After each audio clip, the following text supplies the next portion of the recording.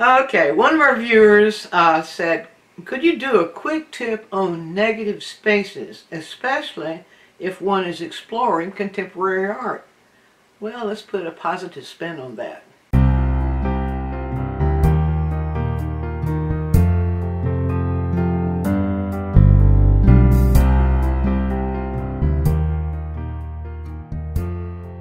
Nothing has confused the public more than contemporary art, or a lot of times we'll call it abstract art. Contemporary covers a broad area.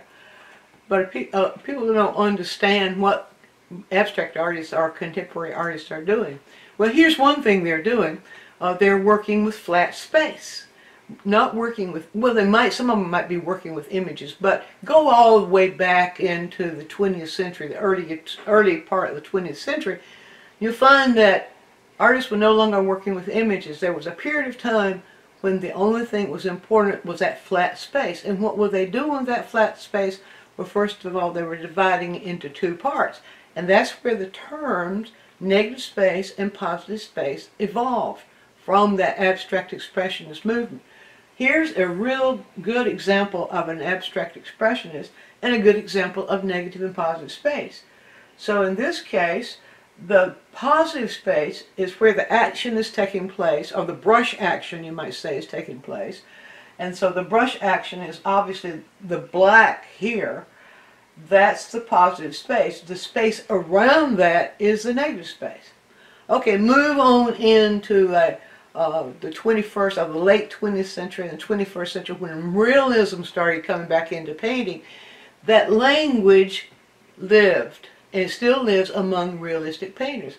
So what does it mean? It means that the space around an image, or this is one meaning, the space around the image is the negative space.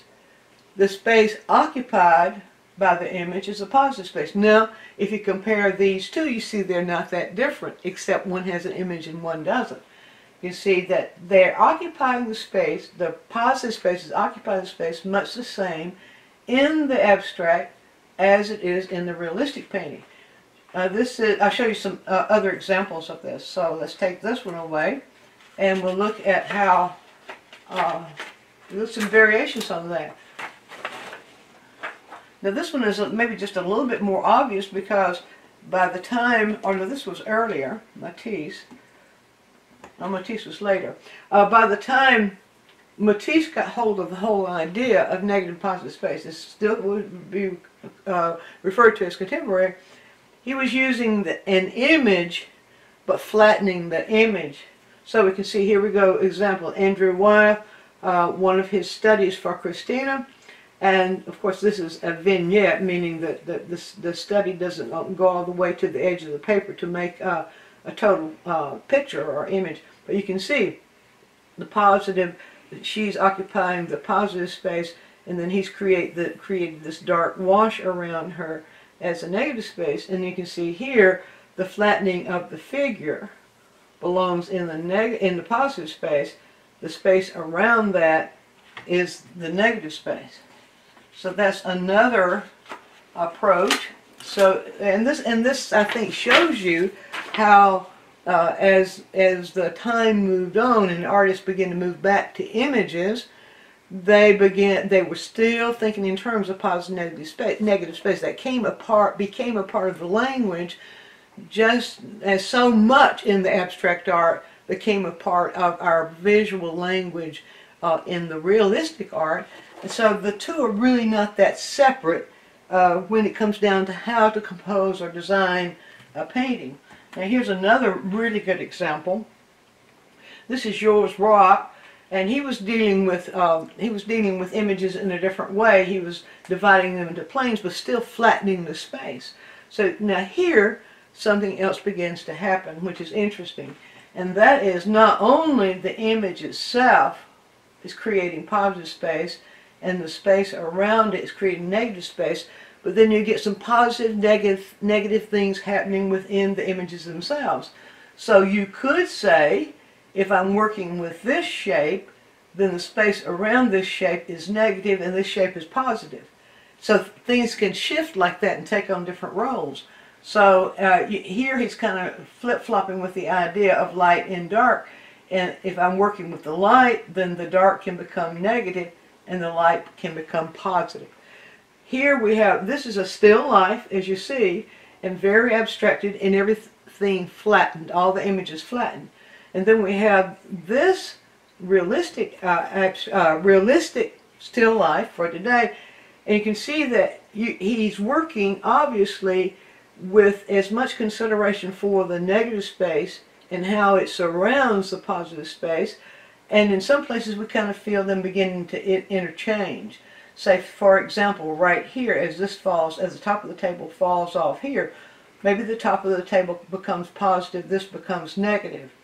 So it's a way of an artist thinking. An image that you're working within is positive. What surrounds that image takes on uh, negative. And negative simply means that it's not occupied. So that's the reason, I think, that's the reason positive and negative were used. Okay, now I have this here to cover it to make it not so visible, but let's look now at these two. Okay, um, even landscape itself, we can see here Richard Schmid's landscape, even landscape itself can take on that positive negative. Now here we have a Kandinsky. Kandinsky was using still, see the flat shape. Sometimes they feel maybe a little bit of curve to shape where you might see a gradation. But see how it gets all these complex shapes but then within those complex shapes, the negative it takes on a role of defining the positive. So we have this dark here and the light around it. That is taking the role of negative to define positive. In the landscape, again, the shape that you're working with is the positive shape. So if we're using the, uh, uh the trees, or, or as we're working with the trees in the house and so on, all those take on the role of positive the space around them in the sky then becomes negative. Now, why is that important? It's important because often, rather than the positive shape, uh, positive really creating the shape, it does, but the negative space plays at least 50% of the role of shaping it. So we could actually shape this house uh, by shaping the tree around it. Once this tree is shaped, uh, and it shapes this edge, it, it can actually also be used to shape the edge of the house. Same thing right here with this fence uh, post, I guess that's what it is. This space around it actually shapes this. And so that's a, a it's the same, that's 50% of this mark being made in the positive to define it.